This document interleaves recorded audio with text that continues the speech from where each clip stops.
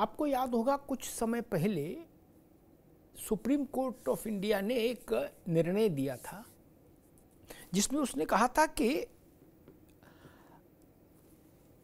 दलितों के लिए जो आरक्षण है, संवैधानिक स्तर पर जो आरक्षण सुनिश्चित किया गया, उस आरक्षण के भीतर वर्गीकरण किया जा सकता है, राज्यों को यह अधिकार हासिल है। यानी कोटा के भीतर quota quota within quota सरल भाषा में ये कहिए कि दलितों के बीच में जितने जातीय समूह हैं, जितनी जातियाँ हैं, उनके लिए अलग अलग कोटा उनके कुल जो कोट आरक्षण की सीमा है दलितों के लिए, उसमें से आप वर्गीकरण कर सकते कि भाई फला जाति समूह को इतना प्रतिशत आरक्षण फला को फला। लेकिन टोटल वही रहेगा जो है। उस वक्त इसका विरोध भी हुआ था, हंगामा भी मचा था। दलित वर्ग के सभी दलों के सांसदों ने इस पर चिंता जताई थी, कहा था इससे आरक्षण को नुकसान हो सकता है, उसको आरक्षण को डाइल्यूट किया जा रहा है, हो सकता है इससे संघर्ष पैदा होगा, आदि आदि। कुछ लोग इसके पक्ष में भी थे। उनके पास अपने तर्क थे और इसके खिलाफ वालों के पास अपने तर्क थे। लेकिन बात आई गई, हो गई। पर अभी हरियाणा चुनाव के बाद ये मसला फिर जेरे बहस हो गया। हरियाणा में भारतीय जनता पार्टी ने चमत्कारिक ढंग से चुनाव जीता।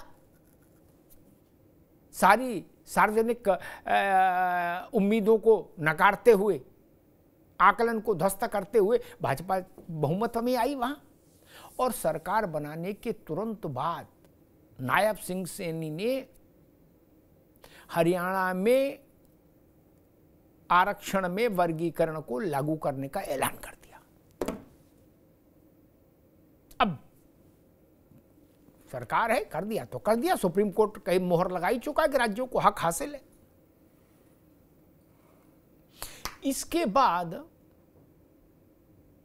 कर्नाटक की कांग्रेस सरकार और तेलंगाना की कांग्रेस सरकार। इन दो राज्यों में कांग्रेस की सरकार इन दोनों राज्यों ने भी ऐलान कर दिया कि हम आरक्षण में वर्गीकरण लागू करने जा रहे हैं। यानी कर्नाटक और तेलंगाना में भी आरक्षण में वर्गीकरण लागू होगा, quota within the quota होगा। अब ये बड़ी बात होगी, भाजपा शासित राज्य में भी कोटा के अंदर कोटा और कांग्रेस शासित राज्यों में भी कोटा के अंदर कोटा। यह अलग बात है कि राष्ट्रीय स्तर पर भाजपा और कांग्रेस इस पर कोई टिप्पणी नहीं कर रहे, लेकिन उनकी सरकारें तो इस ओर बढ़ गई। मायावती जी की नाराज़गी यहीं से शुरू होती है बसपा सुप्रीमो की। और मायावती ने आज दो तीन पोस्ट लिखी अपना एक्स पर।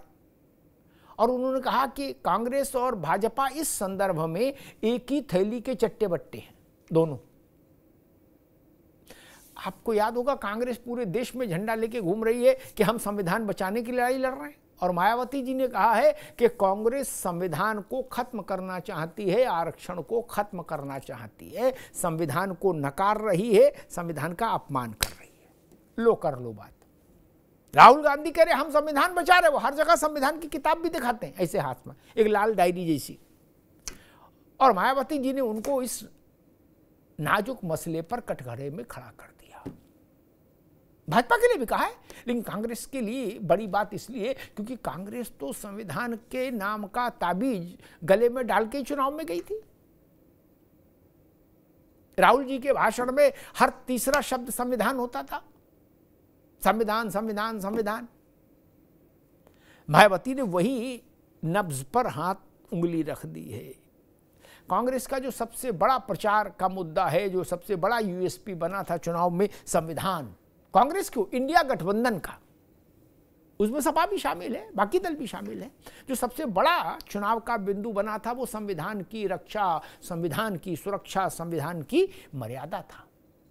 और मायावती कहनी है कि कोटे में कोटा लागू करके कांग्रेस की सरकारें संविधान प्रदत्त आरक्षण के स्वरूप को बदलना चाहती है, संविधान की मर्यादा को तोड़ना चाहती है, संविधान का अपमान करना चाहती है। अब ये लड़ाई आ गई नए शेप में। और आरक्षण का मसला हो, विशेष तौर पर दलित आरक्षण का मसला हो तो देश में मायावती जी की आवाज़ वैसे भी सबसे बड़ी आवाजों में से एक हो जाती है।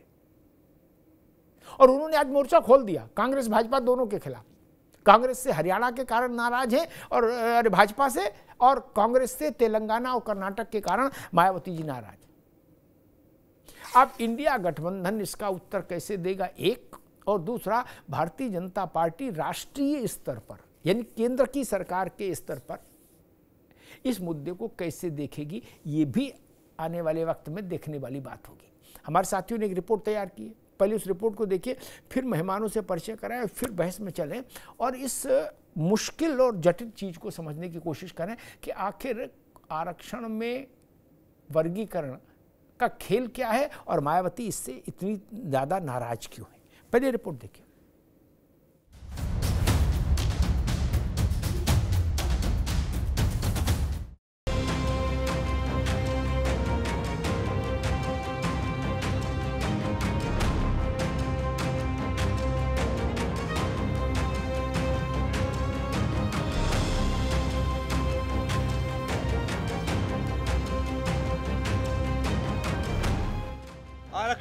वर्गीकरण वाले रण में अब एक के बाद एक सियासी दल भी कूदते दिखाई दे रहे हैं। किसी दल के लिए ये दांव है तो किसी के लिए ये बड़ा तनाव है। और इसी दंगल में बीजेपी ने हरियाणा में नई सरकार के बनते ही आरक्षण में उप वर्गीकरण के प्लान का ऐलान कर दिया। इधर विपक्षी खेमे से कांग्रेस ने भी अपने कदम बढ़ाते हुए तेलंगाना और कर्नाटक में आरक्षण में वर्गीकरण का फैसला लिया है। इस पर बसपा सुप्रीमो मायावती ने विरोध जताते हुए इसे दलित संविधान विरोधी बताया है। हरियाणा की भाजपा सरकार के बाद अब तेलंगाना और कर्नाटक की कांग्रेस सरकार द्वारा भी दलितों को बांटने के लिए उनके आरक्षण के भीतर आरक्षण की नई व्यवस्था को आपाधापी में लागू करने का फैसला वास्तव में आरक्षण को निष्क्रिय और निष्प्रभावी बनाने के इनके जारी षड्यंत्र का नया प्रयास है। मायावती ने बीजेपी कांग्रेस पर आरक्षण खत्म करने का आरोप लगाया है। इतना ही नहीं, बीजेपी कांग्रेस को एक ही थाली के चट्टे बट्टे बताते हुए साथ में सपा को भी लपेट लिया। देश के करोड़ों शोषित और उपेक्षित दलितों के आरक्षण विरोधी और उनकी आपसी एकता की दुश्मन जातिवादी पार्टियों द्वारा आरक्षण में कोटे के बंटवारे के प्रति सक्रियता से ये साबित है कि भाजपा और कांग्रेस एक ही थाली के चट्टे बट्टे हैं। और उनसे समाज और संविधान को खतरा घटा नहीं, बल्कि बढ़ा है। मायावती के आरोपों पर बीजेपी ने पलटवार करते हुए कह दिया, हम तो हर वर्ग के वंचित तबके को आरक्षण के आगोश में लाना चाहते हैं, लेकिन मायावती की नीयत में खोट है। लोकसभा चुनाव के रण में सपा कांग्रेस जहाँ बीजेपी पर संविधान बदलने और आरक्षण खत्म करने के आरोप लगाते थे वही कांग्रेस अब बीजेपी की तर्ज पर आरक्षण में वर्गीकरण पर आगे बढ़ रही है। तो मायावती ने मोर्चा संभाल लिया।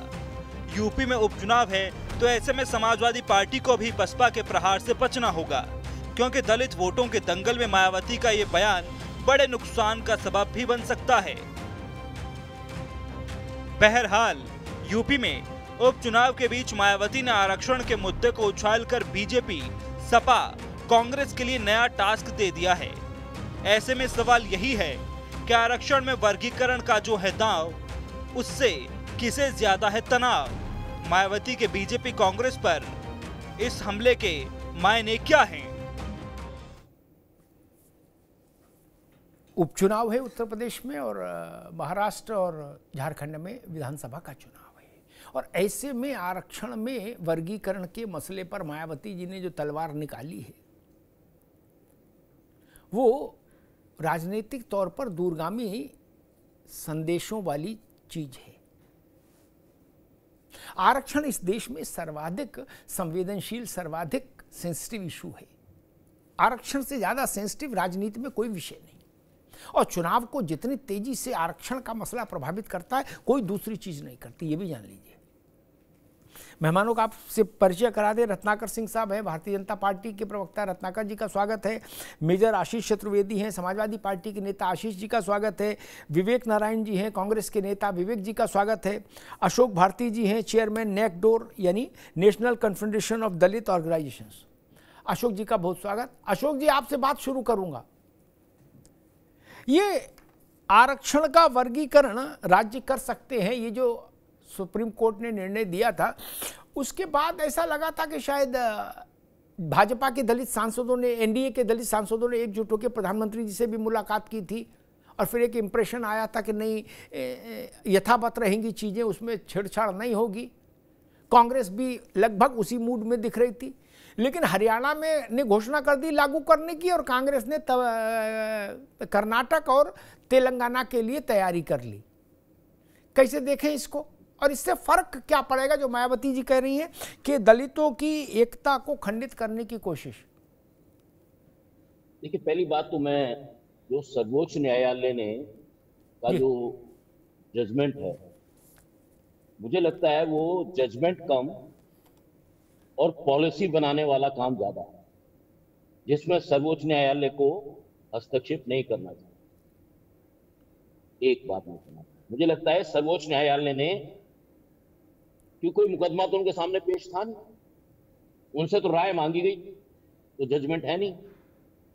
दूसरा, मैं समझता हूँ कि पॉलिसी बनाने की जवाबदेही ज़िम्मेदारी सरकार की है। अगर सरकार की पॉलिसी संविधान सम्मत नहीं है, तब उस पर टीका टिप्पणी करने का सुप्रीम कोर्ट को अधिकार है। एक बात। दूसरी बात मैं कहना चाहता हूँ कि सर्वोच्च न्यायालय जब ये सारी की सारी कवायद कर रहा था और जिसमें निश्चित तौर पर सरकार और न्यायालय दोनों हैंड इन ग्लोव्स है। दोनों के हाथ एक ही दास्ताने में है। मोदी जी चीफ जस्टिस के लिए यहाँ जाके पूजा कर चुके हैं। तो दलितों में इस बात को लेकर ऑलमोस्ट सहमति है कि न्यायालय और सरकार, जो काम सरकार कर नहीं पाती, जिसके राजनीतिक खामियाजा सरकार को भुगतना पड़ता है, वो न्यायालय से करवा दूसरी बात। तीसरी बात मैं कहना चाहता हूँ कि सरकार के पास जो भी सरकारी कर्मचारी हैं जो भी पब्लिक सेक्टर में कर्मचारी हैं वो शेड्यूल कास्ट की जिस भी जाति के हैं उनके हरेक कर्मचारी की जाति का आंकड़ा सरकार के पास है। सरकार ये आंकड़ा सरकार ने आज तक ये आंकड़ा किसी भी केस में किसी भी कोर्ट में आज तक पेश नहीं किया है। सरकार छुपा क्या रही है? मैं कहता हूँ सरकार को जो फैसला करना करे वो एक अलग बात है। लेकिन मैं ये कह रहा हूँ कि सरकार जो अनुसूचित जातियों की ग्यारह सौ पचानवे जातियाँ हैं जिनकी 2011 में जनगणना हुई उसमें से कौन कौन सी जाति कौन कौन से पदों पर कहाँ कहाँ बैठी है उसका आंकड़ा सरकार क्यों नहीं दे रही है? सरकार आंकड़ा छुपाकर कमज़ोर जातियों को आपस में कराना चाहती है। मैं राजनीति की दृष्टि से नहीं कह रहा हूँ ये। मैं सरकार से पूछ रहा हूँ ठीक बात। कि सरकार के पास तो आंकड़ा है ना? सरकार आंकड़ा रख दे। हरियाणा की सरकार आंकड़ा रख दे। कांग्रेस की सरकार तेलंगाना में और कर्नाटक में रख दे। आंकड़े रख दो जस्टिफाई करो बताओ उसके आधार पर नीति बनाओ आपको कौन रोक रहा है? लेकिन सर्वोच्च न्यायालय की ओर में ये शिकार दलितों का शिकार करने की क्या ज़रूरत है आपको? जी अशोक जी दोबारा आता हूँ आपके पास। विवेक नारायण जी बिल्कुल। भाजपा से बड़ा प्रश्न आपसे इसलिए बनता है हालाँकि आप और भाजपा एक ही नाव पर सवार हो, लेकिन फिर भी बड़ा प्रश्न आपसे बनता है मेरी बुद्धि में, क्योंकि आपने पूरे चुनाव में गदर काट दिया। जहाँ गए, वहाँ एक किताब ले गए और दिखाया, बोले, भैया, हमारा जीना मरना सब इसी के साथ है। ये देखो, संविधान। क्या? लगा कि भाई, देश में केवल आप संविधान बचाने के लिए ही धरती पर रहे। अब मायावती जी कह रही है कि ये तो आरक्षण और संविधान दोनों को खत्म करने की साजिश है जिसमें कांग्रेस और भाजपा दोनों शामिल है। विवेक जी ये आरक्षण का मसला ये आरक्षण का मसला आप पहले कहते थे कि भाजपा वाले आरक्षण खत्म करने की साजिश कर रहे हैं राहुल जी कहते थे। अब तो ये मायावती जी कह रही है। और मायावती छोटी नेता नहीं।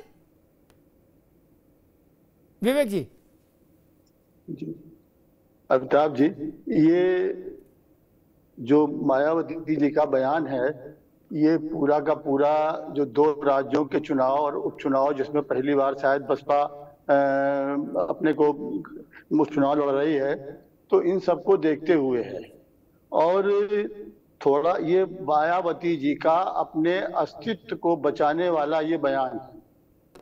और इसमें थोड़ा सा पीछे जाना पड़ेगा अमिताभ जी कि विगत वर्षों से 2014 के बाद से आप देखिए जिस तरीके से बसपा के क्रियाकलाप रहे या उसकी सुप्रीमो मायावती जी जिस तरीके से उन्होंने सरेंडर किया तो एक आम जनमानस में जी एक मिनट एक मिनट एक मिनट एक एक मिनट विवेक भाई एक मिनट। उन्होंने कोई सरेंडर किया हो कुछ किया हो क्या? मसला ये कि जो मायावती कह रही है वो ठीक है कि नहीं? वो कह रही हैं कि कांग्रेस ने तेलंगाना में कर्नाटक में quota within the quota लागू करने की घोषणा करके दलितों की एकता के साथ द्रोह किया है सबोटाज किया विवेक जी। देखिए मायावती जी यहाँ पे उनका बयान कहीं है निशाना कहीं है। ये जो कांग्रेस की बात देखिए इसमें कांग्रेस तो केवल सुप्रीम कोर्ट के जो सुप्रीम कोर्ट ने कहा उसको आगे बढ़ा रही है। और कांग्रेस तो हमेशा संविधान आरक्षण को बचाने और संविधान को बचाने के लिए चुनाव में गई चार जून को उसके नतीजे आए। लेकिन मायावती जी के सामने चंद्रशेखर का फैक्टर है। चंद्रशेखर का फैक्टर भी यहाँ पे है इताब जी जिसकी वजह से मायावती जी को बीच में ये इस तरह का बयान देना पड़ा। तेलंगाना में चंद्रशेखर कहाँ है? करना था कांग्रेस की बात को लेके। वो असल बात वो जवाब दें कि जिसकी बी पार्टी के रूप में आम जनमानस के रूप में जान चुका है कि ये भाजपा की बी पार्टी है। आज ये भाजपा को बैलेंस करने के लिए कांग्रेस की बात कर रहे हैं ये कांग्रेस तो संविधान बचाने की या सुप्रीम कोर्ट के अनुसार ही कर रहा ठीक विवेक जी ठीक अभी रुकना होगा। एक मिनट एक मिनट रुकना होगा। मैं आशीष जी के पास चलूँ फिर रत्नाकर जी के पास। विवेक जी जितना कह रहे उतनी सरल बात है नहीं। मैं तो एक और सरल बात उपाय बताता हूँ।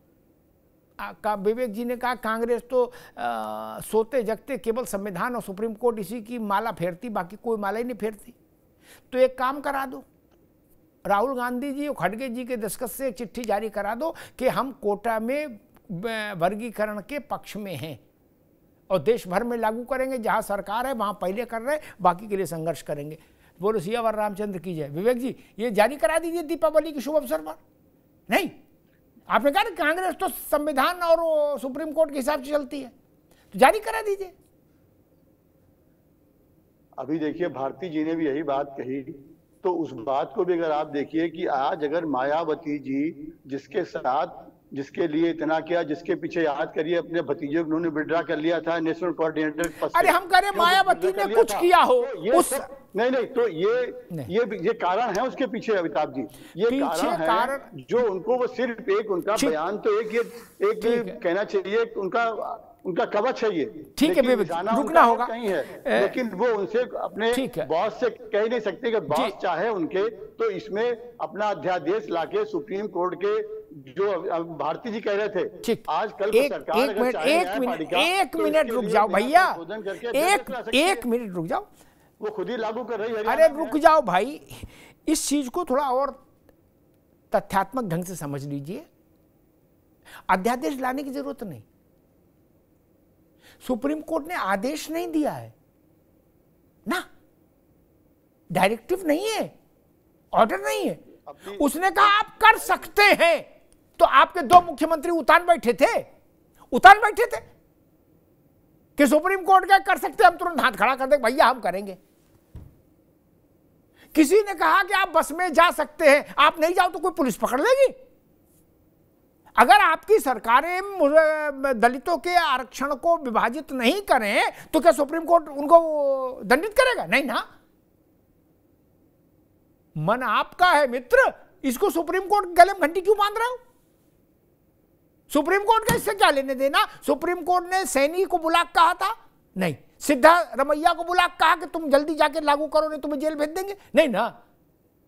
अरे महाराज, गुलगुले आप खाओ और दोष सुप्रीम कोर्ट को दो। ना। सुप्रीम कोर्ट अगर यह कहता कि नहीं, जिस जिस अगर लागू नहीं किया तो जेल भेज देंगे। तो मैं कहता, भाई, डर के मारे लागू कर दिया। ये बेचारे भले लोग हैं सब। नहीं। आप खुद का मन है। आशीष जी आपकी पार्टी भी फंस गई। क्या? एक तो दलितों के आरक्षण के मसले पर आपकी पार्टी का थोड़ा ट्रैक रिकॉर्ड गड़बड़ है। प्रमोशन में आरक्षण वाला बिल इल फाड़ दिए थे आप लोग वहाँ संसद में। और भारत, मेरे ख्याल से भारत क्या दुनिया में पहला ही नजीर ऐसी होगी कि लाख, डेढ़ लाख लोग पदावनत कर दिए गए आपकी हुकूमत में। क्या? शायद मेरे ख्याल से भारत, भारतीय जी विद्वान व्यक्ति व्यक्तियों बाद में बताएँगे। मेरे ख्याल से ऐसा कहीं भी नहीं हुआ होगा। कि लाख, डेढ़ लाख आदमी दो तीन सीढ़ी नीचे पटक दिया ले जाके। खैर, लेकिन आपने भी चुनाव में संविधान सोते जगते संविधान की बात कही। अब मायावती जी कह रही है कि दलितों का आरक्षण खाने के लिए ये सारा प्रपंच रचा जा रहा है। इंडिया अलायंस के आप प्रमुख पार्टनर हैं। दूसरी नंबर की पार्टी हैं। आशीष जी, और आपने अपनी पार्टी में भी बाबा साहब के नाम पे एक वाहिनी बना दी है, मिठाई लाल जिसके अध्यक्ष हैं। चतुर्वेदी जी, अब तो स्थिति, जो आपका गठबंधन है, उसका कोई भी अच्छा कदम आपको लाभ देगा और कोई भी विचित्र कदम आपको कटघरे में खड़ा करेगा। निश्चित रूप से अमिताभ जी देश के संविधान के आर्टिकल 15 4 और 16 4 के तहत देश में जो ये आरक्षण दिया जा रहा है और उसमें किसको मिलेगा वो आर्टिकल 341 और 342 में ने बताया गया है। अब ये जो सवाल अभी आज जिस पे हम लोग चर्चा कर रहे हैं मुझे भी ऐसा लगता है कि कांग्रेस को और भाजपा को भी पुनः विचार करना चाहिए। क्योंकि इसके कुछ व्यवहारिक पहलू हो सकते हैं जब आप आरक्षण के अंदर आरक्षण देंगे। तो कहीं ना कहीं मान लीजिए कि कहीं दस सीटें हैं टोटल जो आरक्षित हैं और जब उसके अंदर आप क्लासिफाई कर देंगे कि ये ए जो ए, ए की दो सीट बी की दो सीट सी की दो सीट और डी की भी दो सीट और ई की भी दो सीट यानी दस सीटों का बंटवारा आप ऐसे कर देंगे। हो सकता है कि उसमें ए और बी तो हो लेकिन सी या डी उसमें ना हो। तो जो आरक्षण उसमें होगा, वो किसी और को मिल नहीं पाएगा, जो कोटा है वो कहीं ना कहीं ऐसे ही रुका रह जाएगा। तो कुछ इस तरीके के व्यवहारिक पहलू मुझे ऐसा लगता है, जब आरक्षण के अंदर आरक्षण कैटेगराइज होगा तो मुझे लगता है ऐसा आने वाले समय में कुछ ना कुछ दिक्कतें आएँगी। तो यहाँ जो मायावती जी ने जो सवाल उठाया है, मुझे लगता है कहीं ना कहीं ये सही सवाल उठाया बड़ी बात है, समाजवादी पार्टी ने कहा कि मायावती ने जो सवाल उठाया है, वो एक सीमा तक कहीं ना कहीं सही सवाल है, ये बड़ी चीज़ है। रत्नाकर जी, आपके मुख्यमंत्री भी चुनाव जीत के लड्डू खाए एक और सबसे पहले कह लाओ, फ़ाइल लाओ, कोटा वाला दस्तखत कर दूँ। नहीं, इतनी हड़बड़ी क्या थी? और मायावती का जो हमला है, उसको कैसे देख रहे हैं?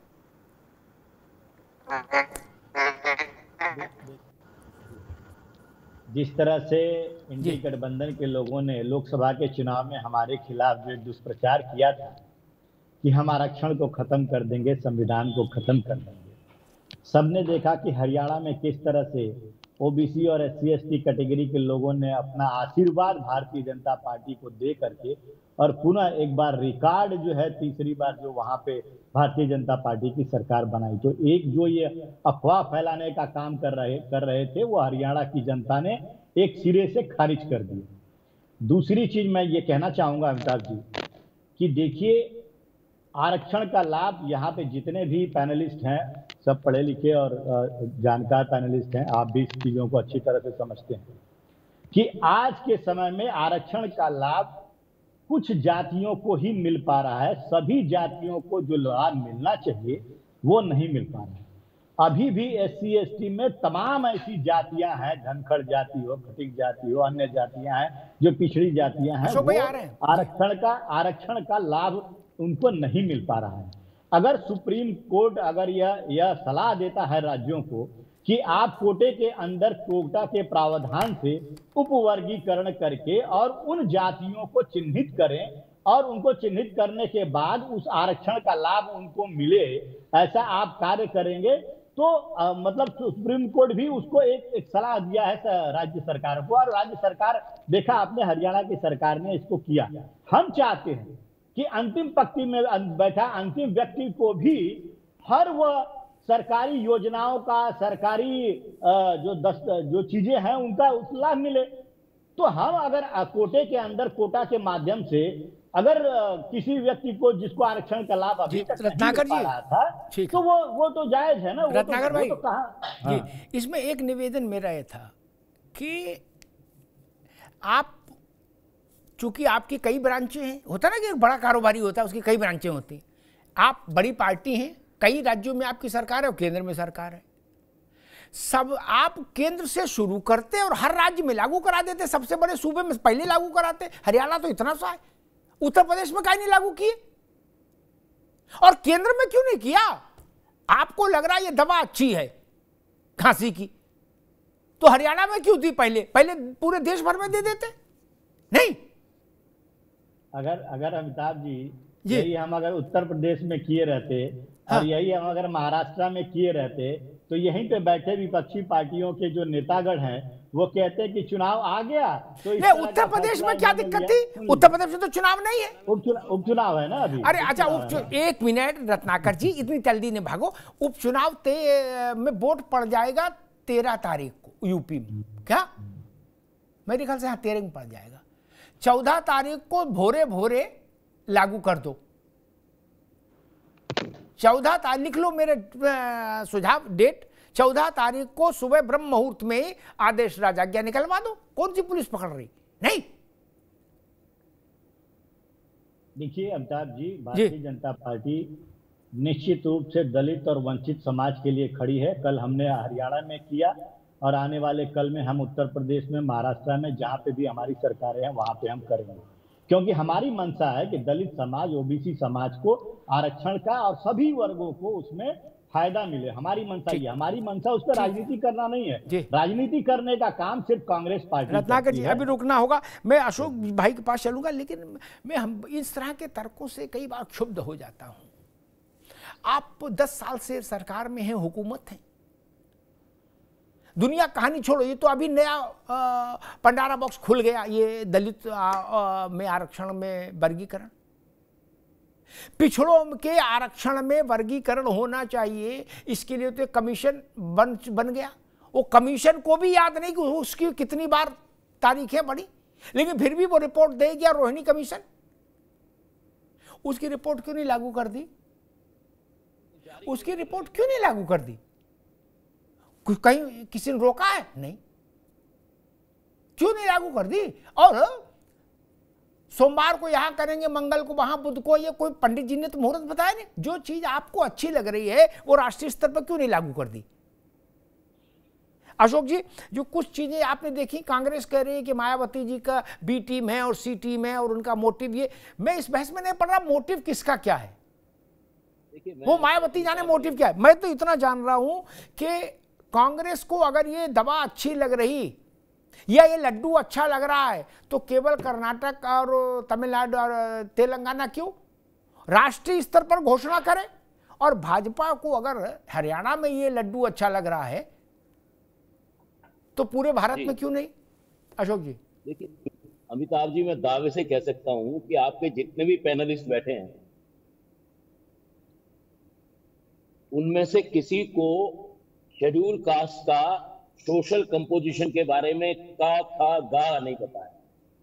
नहीं तो मैं सवाल है मेरा पूछे मैं पूछना चाहता हूँ, मुझे ये बताएँ कि शेड्यूल कास्ट में कितनी जातियाँ ऐसी हैं जिनकी आबादी एक से लेकर एक हज़ार तक है? वो बताएँ शेड्यूल कास्ट में कितने लोग ऐसे हैं जिनकी आबादी, जिन जातियों की आबादी दस हज़ार से कम है? कितनी जातियाँ ऐसी हैं जिनकी आबादी एक लाख से कम है? कितनी जातियाँ ऐसी हैं जिनकी आबादी पाँच लाख से कम है। कितनी जातियाँ ऐसी हैं जिनकी आबादी पाँच लाख से अधिक है?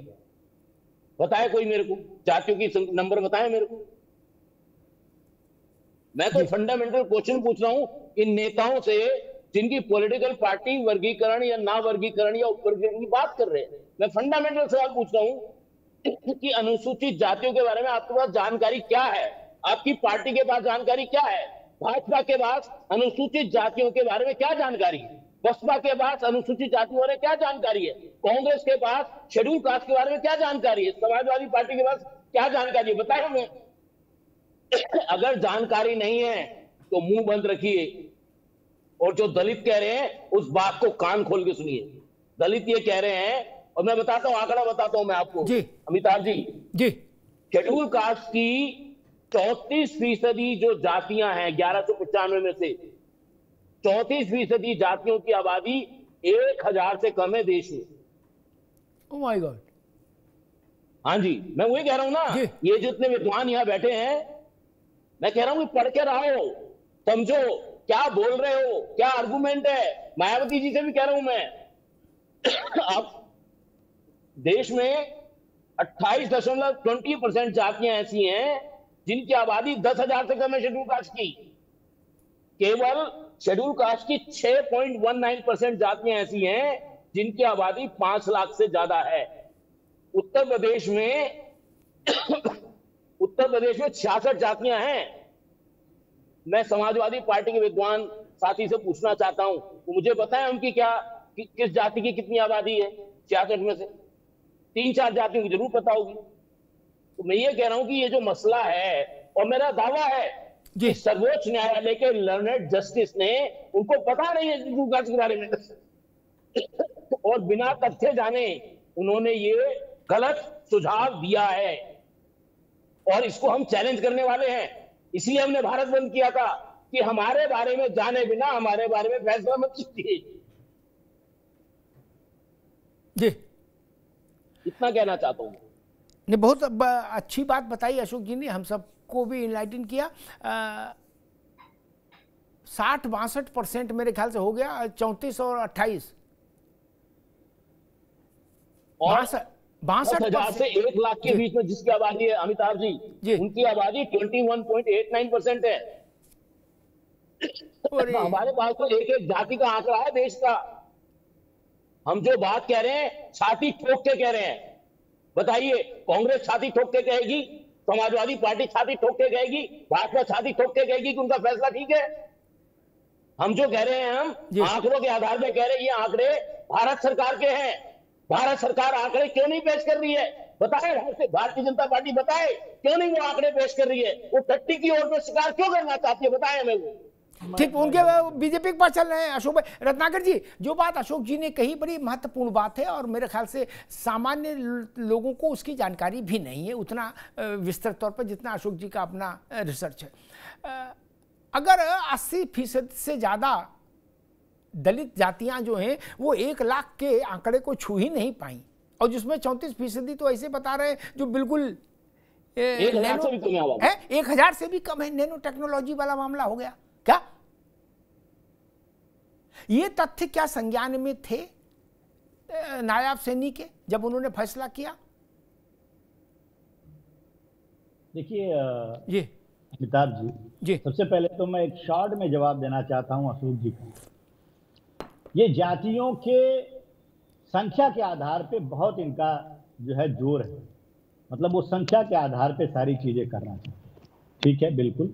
एस सी का संख्या सबको मालूम है और उसके आधार पे आप उनको लाभ देने की कवायद कर सकते हैं मेरा मा, मानना ये है व्यक्तिगत रूप से संख्या से ज़्यादा ज़रूरी है कि जो भी समाज है एस सी में भले ही एक हज़ार से वो कम है उसको मिल रहा है क्या उसका आरक्षण का लाभ उसको मिल रहा है क्या महत्वपूर्ण तो चीज़ ये। है अरे आप सुन लीजिए। अमिताभ जी इनसे पूछे ना ये क्यों नहीं बता रहे सरकार में तो ये बात तो लीजिए इनके भाई साहब। भाई साहब सुनिए बीच में नहीं बोलिए प्लीज़ जी।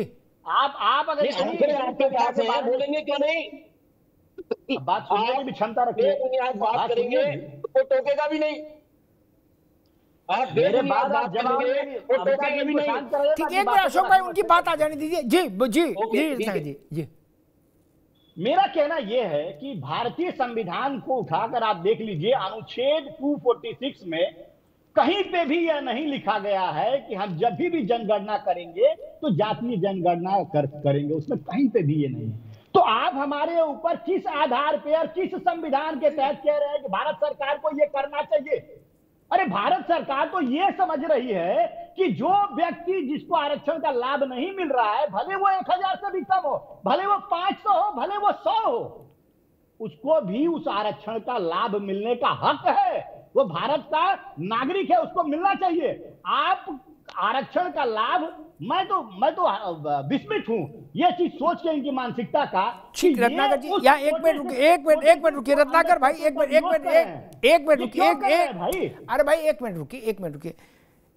मैं एक बात पूछ लूँ मेरे पास तो खैर आप सबसे कम बुद्धि है। रुक जाओ भैया नारायण जी। मान लीजिए हाइपोथेटिकल बात है पूरे देश में दलित किसी दलित जाति की संख्या डेढ़ हज़ार है पूरे देश में। क्या? उसके लिए कोटा कैसे फिक्स करोगे? दलित के टोटल रिजर्वेशन से कौन सा कंप्यूटर लाओगे? कैसे फिर फिक्स करोगे? बताओ ना हमको। देखिए देखिए देखिए देखिए अमिताभ जी अगर हम पूरी पूरी अगर सुप्रीम कोर्ट का अगर निर्णय को अगर पढ़े हम तो सुप्रीम कोर्ट के निर्णय में कहा है और उसमें क्लियरली उन्होंने मेंशन किया है कि आप डेटा सैंपल कलेक्ट करिए उसके आधार पे जो है वो आरक्षण को लागू कोटे के अंदर कोटा लागू करने का प्रोविजनिंग करिए। ये पूरा उन्होंने पूरा क्लियरली स्पष्ट तौर से कहा है। तो हम थोड़ी है कि आज तुरंत का तुरंत हमें भी सर्वे करना है हमें भी डेटा इकट्ठा करना है उसके आधार पे हम एक, एक मिनट रत्नाकर जी एक मिनट रुक जाइए। नहीं। ये तथ्यात्मक तौर पर चीज़ गलत है। ए, ए, सुप्रीम कोर्ट ने यही कहा जो कोर्ट किया रत्नाकर जी ने। लेकिन सैनी ने हाँ, अरे सुन लो भाई बाबू। लेकिन सैनी ने लागू कर दिया और ताल ठोक की बोले लड्डू बांटो। क्या? जो कहा था सो किया। नारा लग गया प्रेस कॉन्फ्रेंस में। नायब सैनी जिंदाबाद। क्या? ऐसा नहीं उनने कहा कि अभी सर्वे कराएँगे और फलाना कराएँगे। नेता को रुकता है? घोड़े सवार आता है? प्रेस कॉन्फ्रेंस में घोषणा की चल भैया। सिद्धिरमैया ने नहीं कहा कि सर्वे कराएँगे? कहा है सर्वे? नहीं। रेवंत रेड्डी ने कहा कहा सर्वे कर? कहा है सर्वे? अरे रुक जाओ भाई। एक मिनट रुकिए। दूसरी चीज़ सरकारें कैसे काम करती हमको पता है। विवेक नारायण जी की सरकार थी चुनाव में जा रही थी। किसी विद्वान ने सलाह दे दी गांधी परिवार को बोले जाटों के लिए रिजर्वेशन कर दो। क्या? बुलाई कैबिनेट ठोंक दिया। सुप्रीम कोर्ट में मामला गया, पूछा गया, विवेक जी, कितने जाट हैं? बोले, नहीं पता। कितने की स्थिति खराब है? नहीं पता। कितने नौकरी में नहीं पता। तो बोले, फिर आरक्षण कैसे लागू कर दिया? कंडेम करो। जो बात तो इसमें एक सबसे प्रामाणिक बात जो अशोक जी ने कही हुई है कि पहले ये तो बता दो हमको कि कर्नाटक में दलितों की जो सैकड़ों जातियाँ हैं इनमें से कौन कितना भागीदारी पा चुका है? तेलंगाना में भी बता दो। विवेक जी नहीं। मायावती का इंटेंशन क्या है? इस पर बहस क्यों कर रहे हो? आपका इंटेंशन क्या है ये तो बता दो। विवेक जी। कि यहाँ पे इंटेंशन की सारी बात है बयान की बात हो रही है जिसपे आज चर्चा। आज जो अशोक भारती जी ने कहा ये जो आंकड़े दिए तमाम ये, और जो आपने सवाल खड़े किए कि अगर 1500 आबादी देश में है तो उसके लिए आरक्षण कैसे हो सकता है, ये दोनों चीज़ें एक सवाल खड़ा करती हैं मायावती की मनसा के ऊपर। आज सुप्रीम कोर्ट का ये जो आया था, ये गाइडलाइन ये ये आए हुए इतना गैप हो गया। उसके बीच में जो अशोक भारती जी कह रहे हैं कि हम उस पर लिए कोर्ट जाएँगे, ये करेंगे, या मायावती जी आप कहते हैं स्थापित लीडर इतनी बड़ी हैं हैं, वास्तव में हैं दलित वर्ग की तो उन्होंने अब तक इसको लेके एक क्यों नहीं इस तरह की कार्रवाई करी? वो बयानबाजी ये सिर्फ़ ज़ाहिर करती है, अगर वो चाहती तो बीजेपी से ही सवाल करती कि आप करिए कोर्ट, आप सरकार में हैं, आप कर सकते हैं। आप सरकार सवाल पूछती है, वो सवाल ना पूछ के वो एक कांग्रेस के संग उसको कह रही एक थैली चट्टे बट्टे हैं क्योंकि सीधे भाजपा सवाल नहीं कर सकती हैं। क्योंकि उन्हीं के पीछे अपने भतीजे को हटाया तो उन्होंने भैया विवेक जी आप विषय भटका रहे हो आज। ना ना हम कह रहे हैं मायावती किसी आप माया नहीं नहीं मायावती जी ने कहा तो मायावती जी का बयान क्यों आया? उन्होंने कार्रवाई क्यों नहीं करी? जो भारती जी कह रहे हैं मैं भारती जी की बात से मायावती जी क्या कार्रवाई कर देंगी? मायावती कहाँ दस्खत कर देंगी? मायावती तो सरकार है नहीं? क्या कार्रवाई कर देंगी मायावती? सरकार सो सरकार से कहती वो सरकार से कहती है उनसे कि इस पे आप ये ये आंकड़े हैं इसके लिए हम कार्रवाई करने जा रहे हैं इससे पहले आप कार्रवाई करिए। आप सरकार में हैं ये मायावती जी ने क्यों नहीं कहा? अच्छा ठीक एक मिनट रुक जाइए रुक जाइए विवेक जी रुक जाइए रुक जाइए। अरे रुक जाओ भाई कांग्रेस का बड़ा विचित्र तर्क है। बोले मायावती ने ठीक रुक जाओ भैया कि मायावती ने ये ये काम नहीं किए इसलिए हमने कोटेम कोटा जारी कर दिया। जय हो प्रभु। मायावती ने जो किया वो उन, उसका लाभ उनको मिलेगा जो नहीं किया उसका नुकसान वो झेलेंगी। लेकिन कांग्रेस जो कर रहे हैं उसका तो नुकसान कांग्रेस को ही होगा ना? जो भारती जी ने गजब जी करना चाहिए था। अरे हम करें मायावती जी को क्या करना चाहिए नहीं करना चाहिए मायावती जी जाने।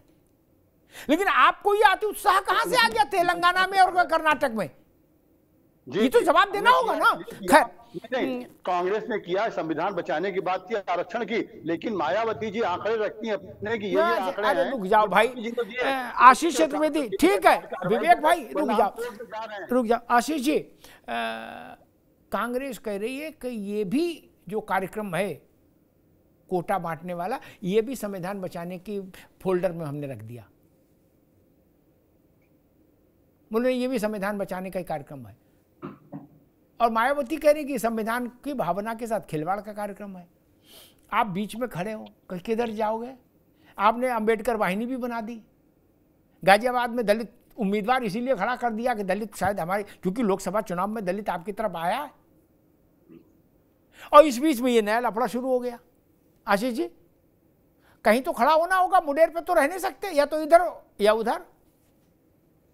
जैसा मैंने पहले भी कहा कि मैं और हमारी मतलब मैं, हमारे मतलब क्योंकि मैं यहाँ समाजवादी पार्टी का पक्ष रखने के लिए बैठा हूँ तो हमारा यही मानना है कि अभी भी जो पहले तो ये जो जनगणना है वो नहीं हुई है तो पहले तो वो होनी चाहिए कहीं ना कहीं, तभी आप जो है रिजर्वेशन को जो है सही आधार पे और किसके अनुपात में कितना देना है आप तभी ये तय कर पाएँगे दूसरा जो महत्वपूर्ण सवाल आज जो उठ रहा है कि ये कोटे के अंदर कोटा यानी आरक्षण के अंदर आरक्षण होना चाहिए या नहीं होना चाहिए उस पर हम लोगों ने हमारा स्टैंड क्लियर है। हम लोग ये मानते हैं कि अभी जो अ, जो स्थितियाँ हैं उसके अंदर आरक्षण के अंदर आरक्षण अभी सही नहीं लग रहा है हम लोगों को।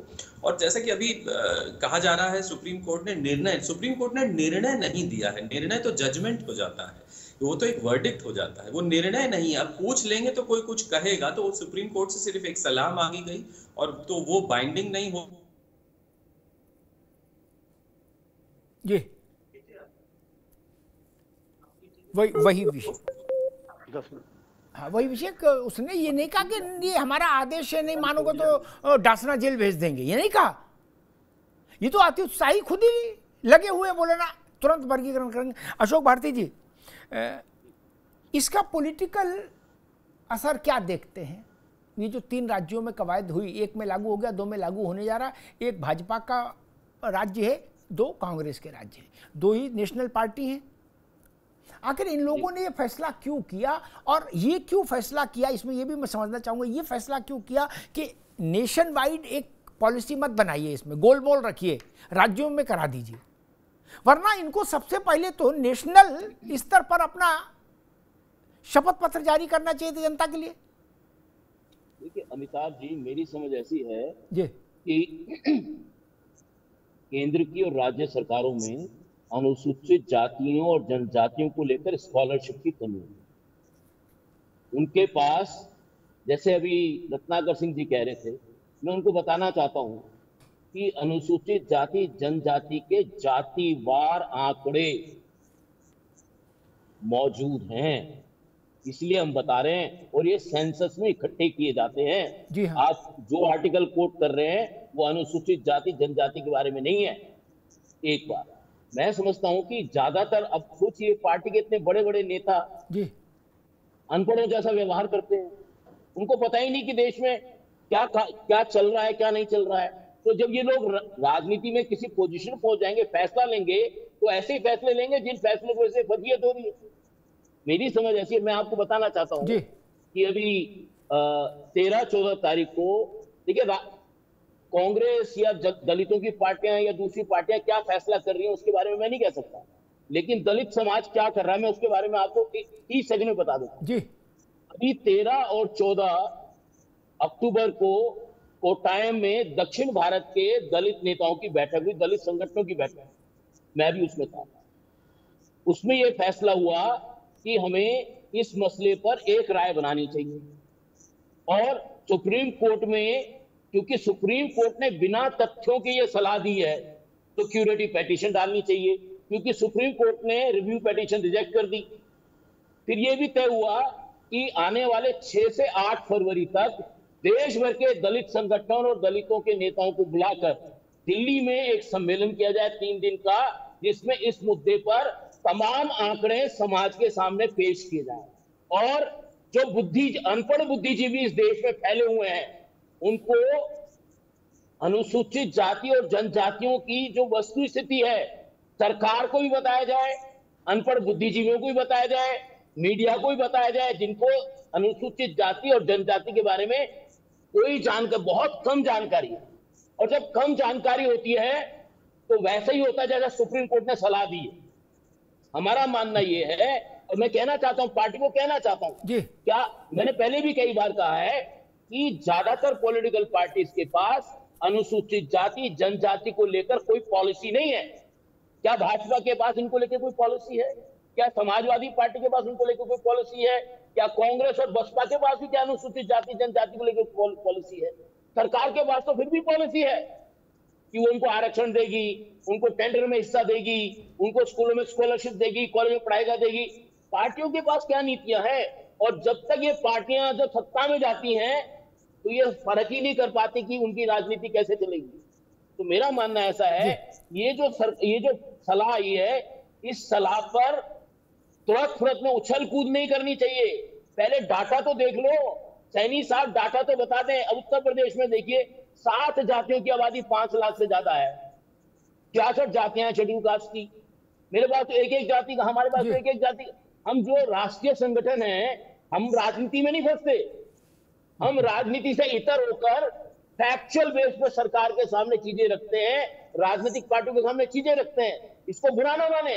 आप जाएँ अपनी पार्टी के जो दलित मोर्चे हैं। अरे भाई उन दलित मोर्चों को ना पढ़ लिख कर। आर्गूमेंट करें ठीक है अशोक जी राजनीति में अरे अरे राजनीति में कार्यकर्ता जो आता है नया नया वो सोचता है पढ़ाई लिखाई में जितना समय खराब करें इतना इतने से बेहतर है चार गुलदस्ता गाड़ी में रखें हैं और चार घर हो आए। और फ़ोटो खिंचा के तुरंत फेसबुक पे डालें फीलिंग हैप्पी राष्ट्र के ज्वलंत मुद्दों पर विचार विमर्श करते हुए, भाई साहब के साथ। विवेक जी, आपकी पार्टी हो, चाहे अखिलेश जी की हो, चाहे भाजपा हो, सब में चल यही रहा है। क्या? किसी कार्यकर्ता से कह दो, भैया, कुछ पढ़ते हो? वो कहे देखो बौरे हो गए अग्निहोत्री जी। कह रहे, पढ़ते, टाइम खराब करें। इतने में चार सेल्फी डाल दूँगा खिंचवा के। अशोक जी, ऐसी सलाह दे रहे, बोले, पढ़ा लिखा करो। मुझे याद है 1901 में रुक जाओ भाई नब्बे के आसपास का दौर था। तो मैं एक बड़े अखबार के संवाददाता के रूप में लोकसभा में प्रवेश किया संसद में। तो भाजपा के उस समय के बड़े नेता एल के अडवाणी से मिला। अशोक जी अडवाणी जी ने मुझसे कहा कि भाई अभी तो आपकी उम्र बहुत कम है। अपने हाँ जी साहब क्या किया है? पहले पूछा परिचय बताया आईआईएमसी से हूँ टॉप करके आया हूँ तो थोड़ा कॉलर भी ऊँचा था। उन्होंने कहा, पत्रकारिता ही करनी मैंने हाँ। तो उन्होंने कहा था पार्टी का जो दफ्तर था, वो उसके पीछे पीछे संसद का पुस्तकालय था। तो बोले, हमारी पार्टी के दफ्तर के पीछे जहाँ आप बैठे हो, इसके पीछे पुस्तकालय है। बोले, दिन में दो तीन घंटे पुस्तकालय में दो। मैंने पूछा, क्या पढ़ना शुरू करूँ? तो उन्होंने कहा था, संविधान सभा की बहस पढ़िए। उसमें पूरा भारत है। अद्भुत बात। कितने नेताओं ने पढ़ी संविधान सभा की बहस? नहीं पढ़ी। गूगल में थोड़ा बहुत देख लेते, कहीं कोई फंस जाए तो बाकी बाकी उसके आगे नहीं। नहीं। ये समस्या तो यही है। न पत्रकार पढ़ना चाह रहा, न नेता पढ़ना चाह रहा। और बोल, सबसे ज़्यादा दो ही लोग रहे, पत्रकार और नेता। मुश्किल तो यही है। ये बात ठीक जो अशोक जी ने बताई अद्भुत बात है। ये बात नेताओं को पता होनी चाहिए थी। हर पार्टी में अनुसूचित जनजाति मोर्चा है। रत्नाकर जी? अमिताभ जी देखिए अभी जो। बात कह रहे हैं आप और डेटा की बात कह रहे हैं और अशोक जी भी डेटा की बात जो कह रहे हैं ये डेटा कहाँ था? ये डेटा जब हमने जनगणना कराई उसी समय एस सी के कैटेगरी के बारे में बात किया डेटा कलेक्ट किया, और उसी डेटा के आधार पे सारी चीज़ें होती हैं। और डेटा इनके पास भी सरकार द्वारा जो जो उपलब्ध डेटा है, उसी के आधार पे बात कर रहे हैं। और ये सुप्रीम कोर्ट के ऊपर भी टिप्पणी कर। रहे हैं सुप्रीम कोर्ट जिस दिन कहेगी सरकार को ये डेटा मुझे प्रोवाइड कराओ सरकार उनको वो डेटा देगी। तो डेटा आपके पास नहीं है। सरकार के पास है सरकार को मालूम भी है सारा डेटा और उसी के आधार पे जो है वो अपना स्कीम्स और जो चीज़ें वो लागू करती हैं। तो ये आपका कहना कि सुप्रीम कोर्ट ने डेटा की जानकारी नहीं है ये इस, इस बात से मैं बिल्कुल सहमत नहीं हूँ। इस तरह से टिप्पणी टीका इनको नहीं करनी चाहिए पहले चीज़ दूसरी चीज़ मैं प्रश्न पूछना चाहता हूँ अशोक बाटी जी। से आज ये कोटा के अंदर कोटा का विरोध क्यों कर रहे हैं? अगर कोई व्यक्ति है, भले वो 500 की संख्या में हो 100 की संख्या में हो, हज़ार की संख्या में हो, उसको अगर आरक्षण का लाभ देने की मंशा अगर सरकारें कर रही है, भारतीय जनता पार्टी कर रही है तो इसमें इनको आपत्ति नहीं होना चाहिए और विरोध भी नहीं होना चाहिए। क्योंकि अंततोगत्वा इस समाज के शोषित, वंचित और पिछड़े लोगों को जो है वो लाभ मिल रहा है। ये तो ऐसा नहीं है ना कि वो उनको, हम लोग तो लाभ देने की कोशिश कर रहे हैं। लाभ से वंचित रखने की तो कोशिश नहीं कर रहे हैं। अगर लाभ से वंचित रखे किसी को तो आप आपत्ति जनाए तो हमको समझ में आता है कि भाई ये लाभ से वंचित रख रहे हैं। लेकिन कहीं ना कहीं हम लाभ अगर देने की कोशिश कर रहे हैं, जिनको लाभ अभी तक नहीं मिल पाया है तो इसमें आपत्ति की क्या बात है? कोई कोई आपत्ति नहीं होनी चाहिए, चाहे किसी भी पार्टी को नहीं होनी चाहिए। और हमने अपना पक्ष रखा है। और आंकड़े जो मैंने पहले पहले भी कहा, आंकड़े जो है सरकार ने कलेक्ट किए हैं और सरकार के आंकड़ों के आधार पे ही ये बता रहे हैं और सुप्रीम कोर्ट के ऊपर टीका टिप्पणी करना इस तरह से बिल्कुल ठीक है रत्नाकर जी रुक जाइए रुक जाइए। एक मिनट रुक जाओ भैया रुक जाओ। अशोक जी कुछ कहना चाह रहे हैं? फिर विवेक जी के पास और आशीष जी के पास। अशोक जी। मैं तो ये बताना चाहता हूँ इंडियन एक्सप्रेस में फ्रंट पेज पर सुप्रीम कोर्ट के हवाले से एक खबर छपी जिन्होंने तमिलनाडु के एक व्यक्ति का चिखलियान व्यक्ति की जाति के व्यक्ति का ज़िक्र किया। वो व्यक्ति पीएचडी था और सफ़ाई कर्मचारी समुदाय से संबंधित था। उस व्यक्ति की बाकायदा सरकारी नौकरी थी। उसने नौकरी से रिजाइन कर दिया। वो इसने इस्लाम ग्रहण कर लिया। के? मैं ये बताना चाह रहा हूँ कि जो आप कह रहे हैं कि आप मेरे को बताइए ना क्या जो शेड्यूल कास्ट के लिए जो आरक्षण है शेड्यूल ट्राइब के लिए जो आरक्षण है वो क्या किसी भी वंचित जाति को आरक्षण का फ़ायदा उठाने से रोक रहा है कोई रोकबंदी है उसके ऊपर? तो विरोध क्यों? इंटरव्यू बोर्ड में उनके लोग नहीं होते। सुन लीजिए ना मेरी तो बात सुन लीजिए। क्या? इंटरव्यू बोर्ड में किन जातियों के लोग होते हैं? केवल एक शेड्यूल कास्ट का प्रतिनिधि होता है बाकी सारे प्रतिनिधि गैर शेड्यूल कास्ट गैर शेड्यूल ट्राइब होते हैं। किसने रोका उनको? और क्या ये दलित जातियों की ज़िम्मेदारी है कि वो दलित क्या दलित जातियाँ दलितों को रोक रही है आने से? या गैर दलित दलित जातियों को आने से रोकने का बहाना दिखा रही है? तीसरी बात मैं कहा ना क्यों भाई मेरे मैं कह रहा हूँ ना सरकार के पास तो आंकड़ा है सरकार के पास तो सर्टिफिकेट है। सरकार बता क्यों नहीं रही कि किस जाति के आदमी को नौकरी नहीं मिल रही? ठीक। ठीक अशोक जी अभी रुकना होगा समय कम है। अशोक जी रुकना होगा। अशोक जी रुकना होगा। नहीं आप रत्ना जी अभी अभी अभी अभी विवेक जी मसला ये कि जो राष्ट्रीय पार्टियाँ हैं उनको एक बार अपना राष्ट्रीय परिदृश्य पर अपनी ओपिनियन तो देश के सामने रखनी चाहिए। ये गुपचुप गुपचुप क्या खेल रहे हो? क्या? कांग्रेस और भारतीय जनता पार्टी को राष्ट्रीय स्तर पर अपनी बात तय कर देनी चाहिए कि हम भारत में कोटा में कोटा के पक्ष में हैं। ऐसा क्यों नहीं बोल रहे खड़गे? अमिताभ जी आपकी बात बिल्कुल सही है लेकिन सवाल यहाँ पे ये है आप रीजनल पार्टी नहीं ना? ना खड़गे जी ना सिद्धारमैया स्वायत्त है ना तेलंगाना स्वायत्त है। आपकी पार्टी की सरकार है ना माँ? तो चौबीस अखबार रोड क्यों नहीं बोल रहा है कि वो क्या चाहता है? राहुल गांधी से क्यों नहीं बुलवाते हैं आप? विवेक जी?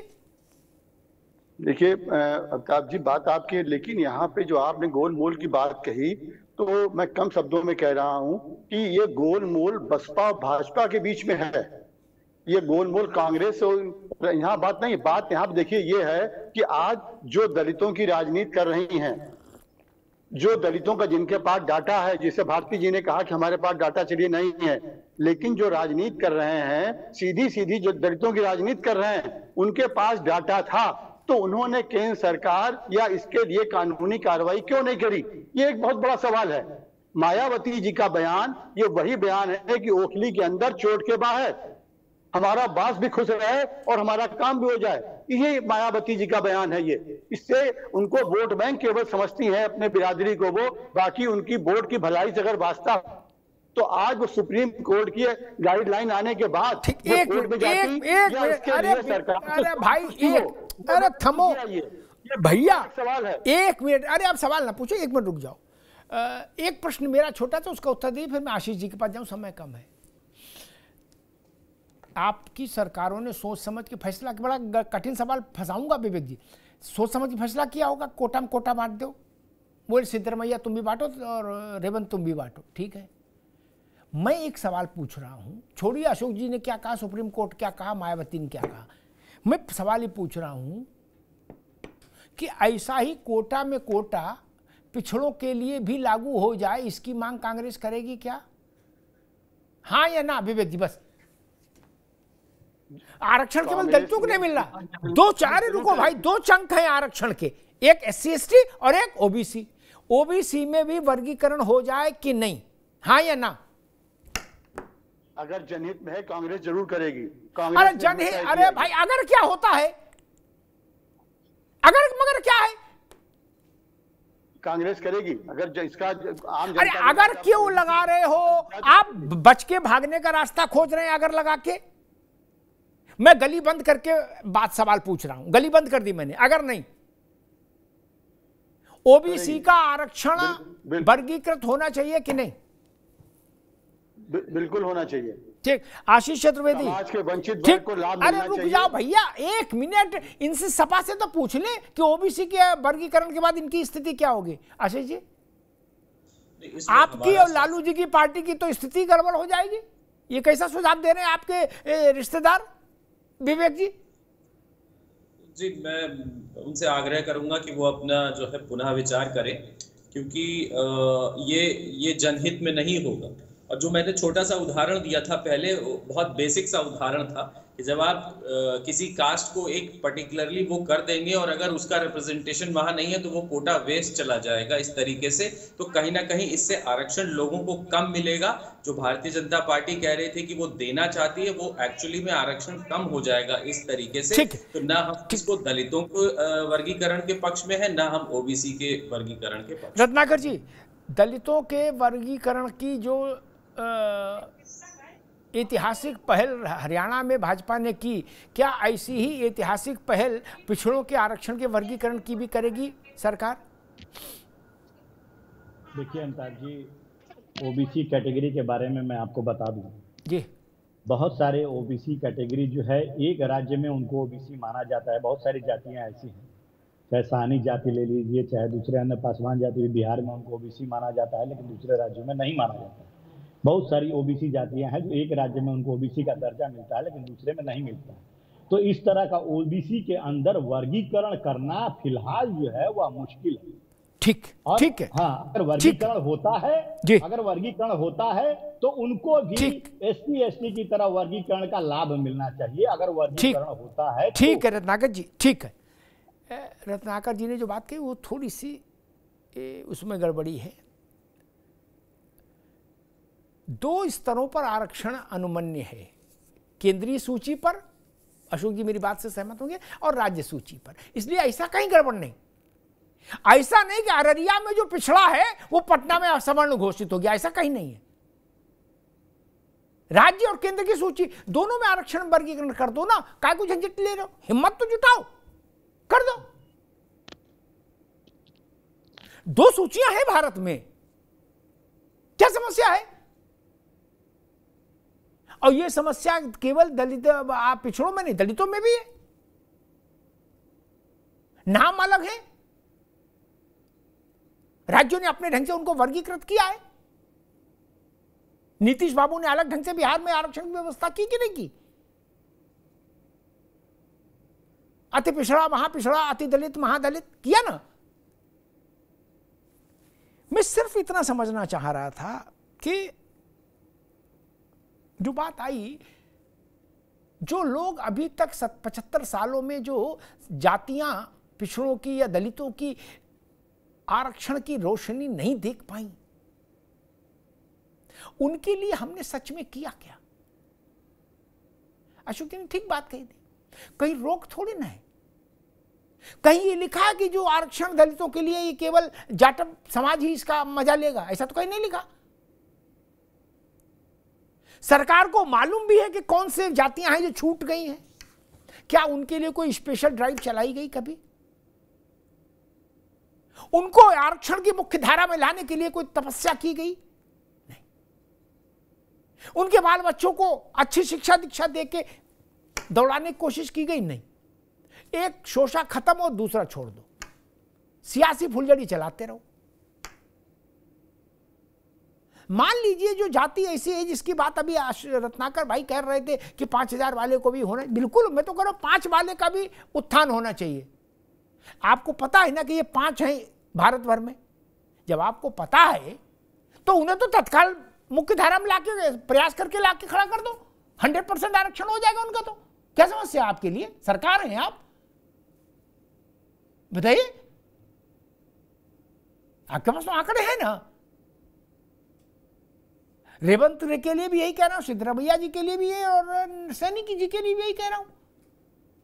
जो जातियाँ अभी तक आरक्षण से वंचित नहीं, उनको लाके दे, आगे बढ़ा दीजिए। पिछड़ों में, दलितों में, आरक्षण का इस ढंग से तो एक बार होना चाहिए।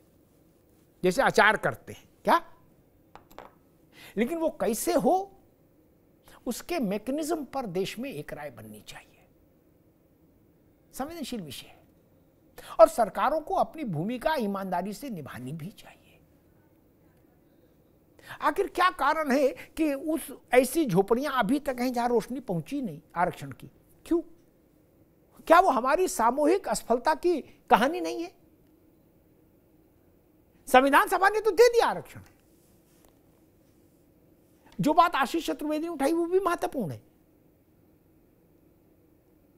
आप जिन जातियों के लिए कोटा फिक्स कर देंगे और उन जातियों के उम्मीदवार अगर जब तक उस स्थिति में नहीं पहुँचेंगे तो उस कोटा का क्या होगा? तब तो प्रैक्टिकली उनका हिस्सा और कम हो जाएगा दलित का। क्या ऐसा होगा जैसे रेलवे में, मुझे पता नहीं, अशोक जी जानते होंगे। रेलवे का रिजर्वेशन जैसा रिजर्वेशन तो हो नहीं सकता कि विकलांग सीट है, विकलांग नहीं आया तो हाथ पर वाला बैठ जाए। ऐसा तो होगा नहीं। बोले, फौजी के लिए है, फौजी नहीं मिला तो चलो होमगार्ड वाला भी बैठ जाएगा। ऐसा तो नहीं हो सकता। तब क्या होगा? तो अभी जितने प्रतिशत मिल रहा है, उससे भी गए। और जो चीज़ आपको एक मोहल्ले में अच्छी लग रही है, वो पूरे शहर के लिए अच्छी क्यों नहीं? मैं तो बहस ही नहीं कर रहा, मैं कह रहा हूँ भाजपा को अगर हरियाणा में ये चीज़ अच्छी लगी तो पूरे देश में क्यों नहीं लागू कर रहे कोई डर है क्या? लागू करिए। और कांग्रेस ये क्यों नहीं कहती, अपने और खड़गे जी के दस्खत से राहुल गांधी क्यों नहीं कहते कि हम पूरे देश में लागू करेंगे? नहीं कहेंगे, मैं जानता हूँ नहीं कहेंगे आप। उसके पीछे का भी कारण मुझे पता है। लेकिन मैं एक बात कहूँगा बात खरी खरी है, लेकिन कहूँगा ज़रूर, ऊँट की चोरी नेहुरे नेहुरे। क्या? जेब में रख के ऊँट नहीं चुराया जा सकता है, जान लेना विवेक जी। क्या? ऊँट की चोरी होगी तो सगरा गाँव जानेगा। हमारी नानी कहा करती थी कहावत? कि ऊँट की चोरी नेवरे नेवरे ना लला, ना। आप इतना बड़ा काम कर जाओगे तो आप सोचते हो तेलंगाना की बाहर बात नहीं आएगी। पूरे देश में इस पर एक प्रतिक्रिया होगी। मुझे पता नहीं, फिर जब आप संविधान की कॉपी लेके निकलेंगे मार्केट में तो लोग क्या कहेंगे? मुझे नहीं पता, दलित क्या कहेंगे?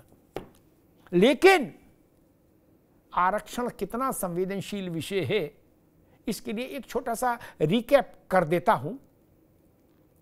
बिहार में चुनाव था, जिस, वो चुनाव की बात कर रहा हूँ, सन में भूल जाता हूँ, जिसमें लालू जी नीतीश जी का अलायंस था। भाजपा अच्छा लड़ रही थी, ये हार सकते थे। मोहन राव भागवत वहाँ गए, एक और उन्होंने एक सामान्य भाव में कहा, कोई ऐसा नहीं था कि उनका क्या आरक्षण की भी समीक्षा होनी चाहिए भाई?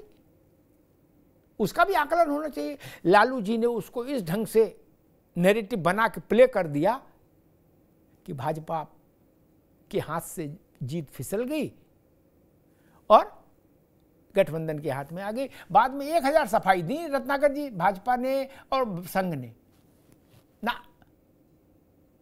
चौबीस के चुनाव में क्या हुआ? रत्नाकर जी, भाजपा से अच्छा कौन जानता है इस बात को? भाजपा संविधान और आरक्षण को, और एक बात कह दूँ, मेरी बात से अशोक जी भी सहमत होंगे क्योंकि मैं बहुत ग्रास रूट लेवल की बात समझता हूँ, मैं बहुत विद्वान आदमी नहीं हूँ।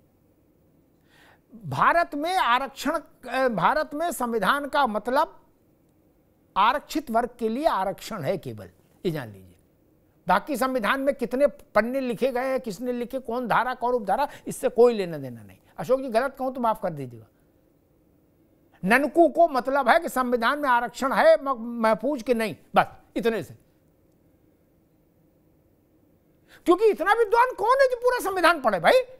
वो रोटी की समस्या जूझ रहा आदमी। वहाँ इस पर निगाह है कि मेरी आरक्षण की जो सुविधा थी, वो यथावत है कि नहीं? उसी के चलते भारतीय जनता पार्टी को लोकसभा में नुकसान उठाना पड़ा। और मसला ये नहीं कि मायावती जी किस पार्टी के साथ अलाइन है, नहीं है, उनका इंटेंशन क्या है? मसला ये है कि देश की दो बड़ी राष्ट्रीय पार्टियाँ, अगर वो ये तो ईमानदारी बरते कि अगर आपको लगता है ये सही है तो राष्ट्रीय स्तर पर कहिए, और अगर ये गलत है तो राज्य में भी लागू क्यों हो? ये बड़ा सवाल है। धन्यवाद।